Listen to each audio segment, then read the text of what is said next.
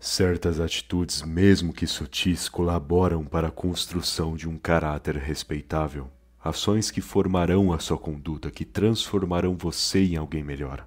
Não só para que os outros te respeitem, mas para que você mesmo sinta dignidade ao se olhar no espelho.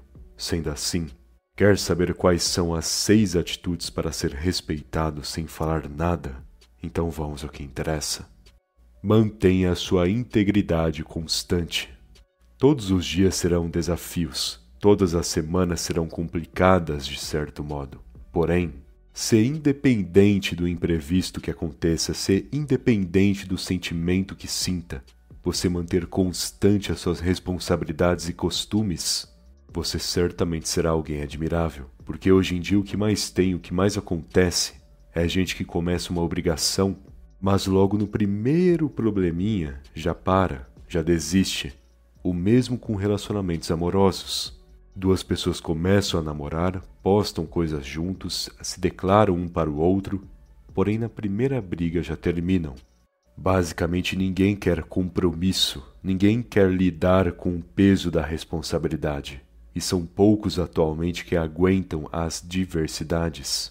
Logo, seja esse tipo raro, seja aquele que diante da dificuldade mantém a resiliência, pois ser íntegro e honrar as suas virtudes, mantendo a sua conduta intacta, independente da situação, é raro e belo de se ver.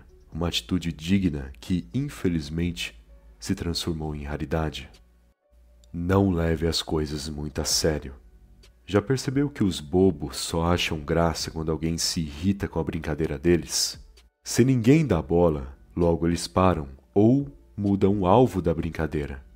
Porém, se logo nas primeiras piadas ou brincadeiras idiotas eles irritam o indivíduo, esse indivíduo será o alvo deles por um bom tempo.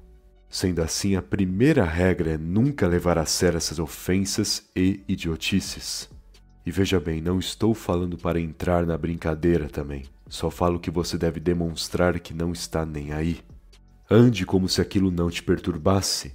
Se possível, nem olhe para os bobos porque essa reação de indiferença é o que acabará com a graça desse pessoal. Sem contar que, para que você se irritará? Para que responderá algo a essas pessoas? Quando você discute com um idiota, você só será mais um tonto. Até porque eles já estão caindo na desgraça, já estão perdidos no meio das suas brincadeirinhas. Então deixe que eles caiam sozinhos. Esteja sempre adiantado atrasos e distrações. Por exemplo, uma pessoa que não entrega o trabalho na hora e inventa qualquer desculpa, sendo que boa parte da culpa foi o tempo que ela perdeu vendo videozinho na internet. Uma outra pessoa até cumpre o trabalho, mas tem a vida pessoal toda desorganizada, já que ao invés de lavar a louça, arrumar a casa e ler um livro, ela fica lá todo dia procrastinando, quase que afundando no sofá. A modernidade, esses tempos estranhos, Parece que tiraram o valor da vida. Pode perceber, as pessoas estão cada vez mais sem vontade de cuidar delas mesmas. As suas casas estão bagunçadas, os seus trabalhos acumulados, os seus filhos perdidos e tudo porque estão viciadas em uma tela de celular ou corrompidas em seus próprios pensamentos. Sendo assim, administre bem o seu dia e não tolere a distração pelo menos não no momento em que você deve adiantar o seu trabalho e compromissos.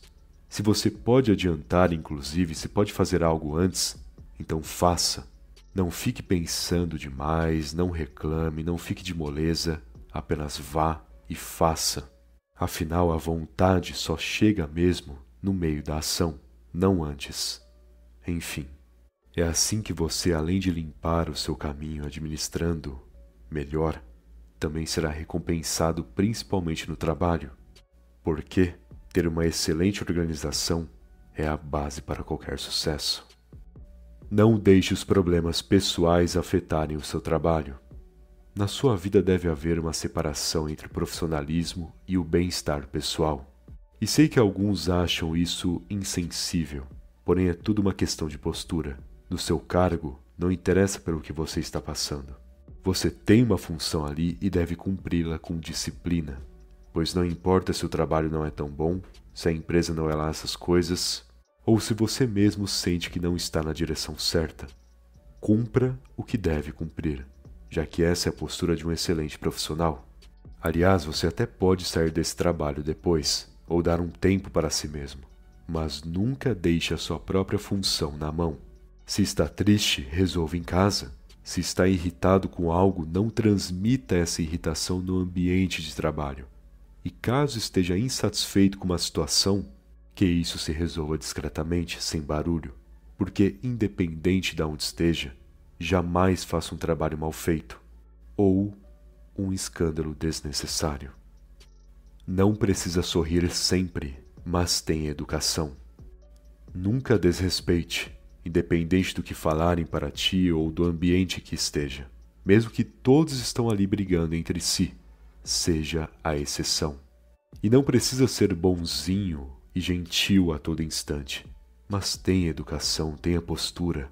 Porque caso você tenha a mesma atitude dos outros, será como os outros. Logo, ao brigar com essas pessoas, você brigará consigo mesmo, percebe? Sendo assim, seja educado, seja elegante. Se aumentarem um tom de voz e criarem um escândalo, fale com calma. E se xingarem, olhe para a pessoa com seriedade, sem perder a razão. E os indivíduos ao seu redor, caso eles percam a linha, se despeça e nunca mais volte ali. Porque a questão é: você não deve ser bonzinho e nem sorrir sempre. Mas isso não significa também que precisa ser um irritadinho ou um babaca.